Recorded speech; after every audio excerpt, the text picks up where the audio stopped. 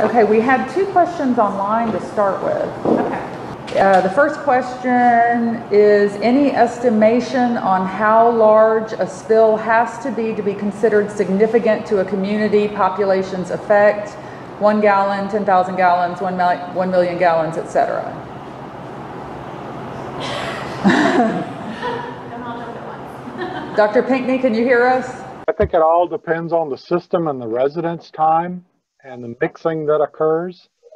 Um, I, I, you know, these large disastrous oil spills are, are bad, but, you know, when you look at the quantities, they're the small spills that are chronic exposures to a lot of these communities. And so, um, I think any spill, uh, depending on what the, the type of oil that it is, whether it's a refined or, or a crude oil product, or um, how long the organisms are actually exposed is, is, is just as important as how big the spill is.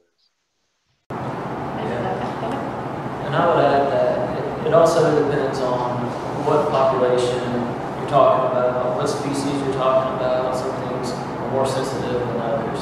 So uh, it, it's definitely context dependent. It's a, it's a hard question to answer because of that. I also want to add, um, not in terms of community and population structure, but to be wary of the media, and they'll have different, um, I guess, thresholds for what they call a large or a medium or a small spill, that it is context dependent, so make sure you're checking your source on, uh, what a large spill really constitutes.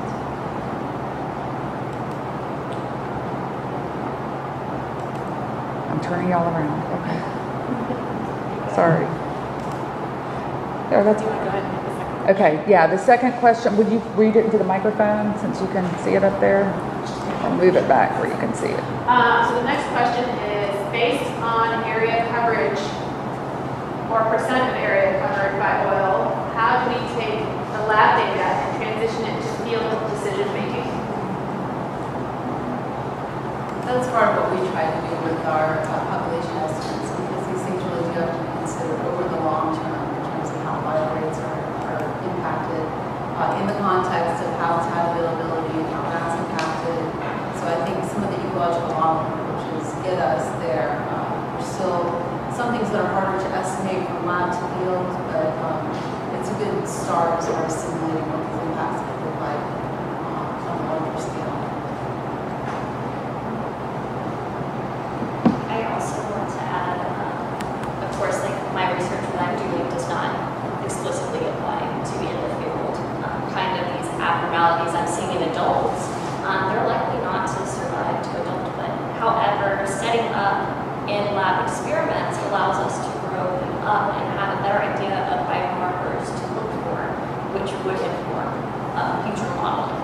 That would not be available in an in-field kind of experiment. Absolutely, and using those biomarkers for particular contaminants of interest or particular effects in the seeing in cellulose acids can help with the preliminary steps of just identifying potential problematic responses in organisms without all of the lab effort and work that goes into it. So those, those approaches are, are very useful as well.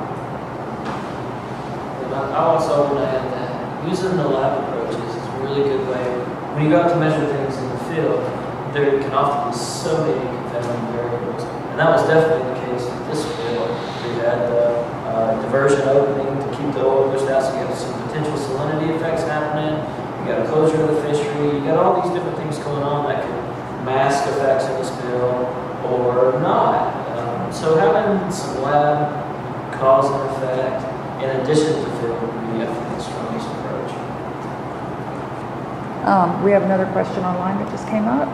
Um, at the bottom for Dr. Awkerman, what are your thoughts on why the Deepwater Horizon scat oiling categories didn't match sediment TPH levels? Yeah, that's a good question. Um, their oil tends to be really patchily distributed, so even though a severe category might have been representative of a larger area that someone looking at, it's still possible to find areas within that coastline that may not have as much oil um, is also really volatile component, so over time it can shift the distribution um, and the, the actual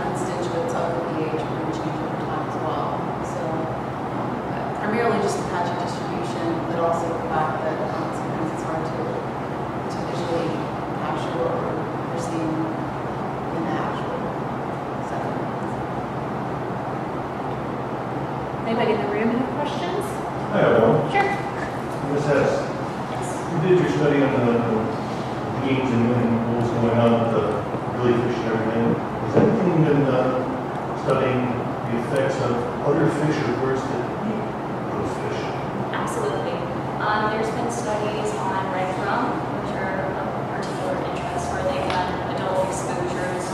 Um, the problem with doing exposures with larger fish, which other labs do, is you have to make a large volume of oil, and you somehow have to consistently make that oil um, in terms of composition. As Dr. Hoffman alluded to, even in the lab setting, maintaining a constant oil concentration is very difficult. So usually what they'll do is like a dosing every four days, um, where they'll hit the adults, um, red drum, they've done mahi mahi, um, Dr. Martin in Florida has, um, uh, they'll hit them and then over time, if you follow the, the oil concentration, you see this decline in oil constituents. So yes, it has been done in other fish. There have been incidences of reproductive um, inhibition, problems with cardiovascular Uh, system. My question didn't deal with the oil affecting the Oh, bigger okay. fish, but the bigger fish eating the smaller fish. Oh, If That had any effect on the bigger fish. well, That's absolutely. not part of Oh, uh, as far as experimentally doing it, well, you always have potential for bioaccumulation. Um, of course, that's kind of the idea when you field. Uh, typically, you don't want to eat the old fish. They've been around, they've seen some stuff. They've been able to accumulate, um, you know, whether it's oil or any other toxicant that's in, in the environment. Um, so there's absolutely potential for that. Um, in the case of the Deepwater Horizon, it was just, it was so spatially um, different portions of the coastline had such different levels of exposure. I, I can't tell you specifically um, to what extent that was, but it's absolutely possible.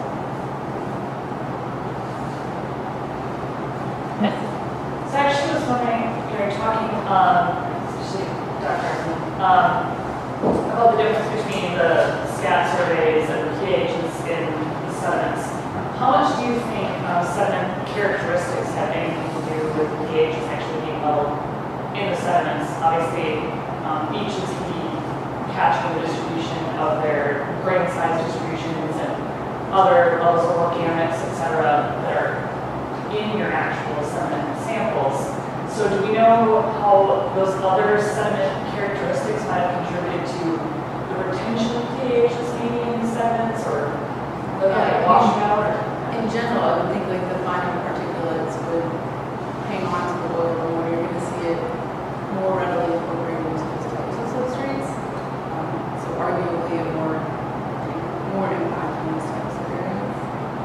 That might be like where there's some disconnect potentially. I could see like if a scat team was out there, the assessment area being like impacted, but maybe you had very different sediment characteristics than other areas, would that create this disconnect between what the team was assessing it as versus what they were measuring it at? Um, yeah, but in general, um, I don't know, there would tend to be a lot of variability in terms of the spatial and temporal frequency, just because it was sort of an on-fly operation, it was a little bit unpredictable. So a lot of times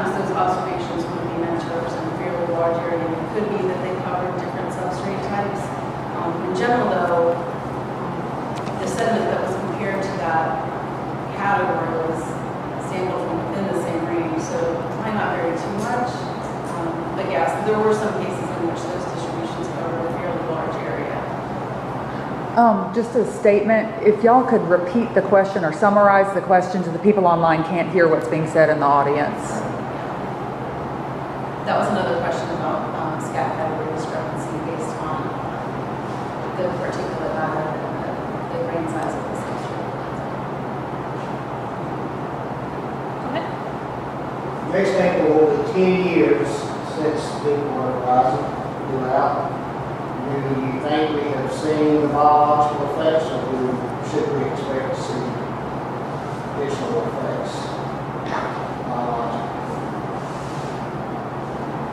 Where the fishing is.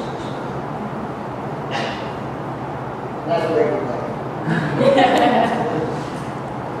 So, so the question was, have we seen uh, the biological effects? um, Have we seen the peak in the, in the negative impacts? Um, And, and I would say that after the Exxon Valdez spill, the crash didn't occur until something like eight years after. So I'm, I'm really wary to say this is over, uh, especially because a lot of the oil gets down in the sediment. So you can go to Ixtoc, Exxon Valdez, and you can still dig up oil. You can go to Barataria Bay and still dig up oil, and it looks like fresh oil. It hasn't weathered. It's got all those volatile, nasty compounds. So if a hurricane comes in and resuspends everything, redistributes it, you can have this all over again.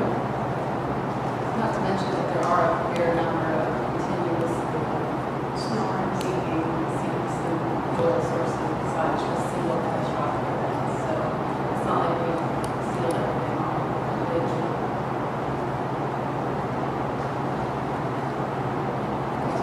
Um, Is there a certain time of the year or situation, scenario, whatever you call it, that would have a estuary being more naturally protected from an oil spill?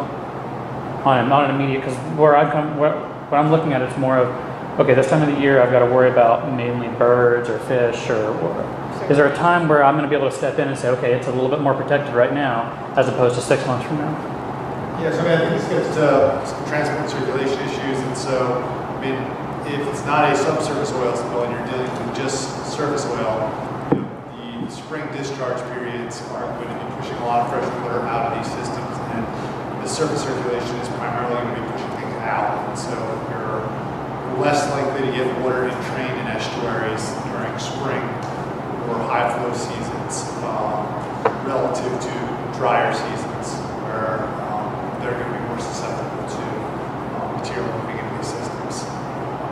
So I think there's at some um, seasonality. Um, you know, a lot of the northern Gulf has a seasonality to the coastal circulation. So depending on where you are relative to an offshore oil spill, you may not have to worry about oil. This is what we sort of Deepwater Horizon. Texas really didn't get hit very hard. Really, I don't even know if Texas got hit at all by the, this oil spill. That was because the spill happened in April. The seasonal circulation in the northern Gulf is currents tend to go from west to east, and so that's why uh, Florida, Alabama, and Mississippi, sort of after Louisiana, those are the states that got hit. It's because the seasonal circulation goes from west to east. So it put those systems more at risk than sort of the Texas area. And so there is seasonality in a lot of uh, aspects of coastal circulation. So, you know, understanding river discharge, understanding shelf circulation very helpful to sort of assessing when, where you need to put your response efforts. Oh, I'm sorry. The question was, uh, I don't even remember what the exact question I think he was probably close enough that people could hear. Yeah. It's, what- it's the people in the very back of the room that the mic can't pick up. Right. Um, I do have a question, speaking of submerged aquatic vegetation. Actually, Walk over. Um, so my question is that you showed that there was some, um, when some of the submerged aquatic vegetation was exposed to oil, they had shallower roots. Um, so that obviously it has impacts on, um, their stability within the system and, uh, assuming erosion impacts as well. Um, has there been any studies as far as how, I mean, like, total spatial impact, how that would occur, or is it just? No, there's not been any uh, field-based studies because submerged vegetation is pretty hard to monitor. Right. So around here, it's, it's turbid water, so you can't do aerial surveys very efficiently. You have to do diver-based, core-based estimates, and it would, it would take a long time and pretty costly and, and field effort. So for that reason, submerged aquatic vegetation in general in this area is not monitored as well as emergent sort of a gap in our knowledge that you know, we could try to address in the future. Two questions for Charles. Do you know whether larger herbivores also prefer oiled vegetation over non-oiled vegetation, or is this behavior only seen in arthropods? And do you think that because they are eating less than they normally would, uh, there's not as much of an impact to their health? Yeah, those are those are great questions, and I'm okay saying I don't know. um, in, in terms of mammals, uh, manatees, um, I don't know of any studies showing manatee preference for oiled areas, unoiled areas. Um, and then the long-term effects of eating this oiled vegetation. How does that, how does an oiled plant, you know, function nutritionally for later in life? And uh, that, that those are great questions that if you have some money, I'd be happy to do some studies. Thank you for the question.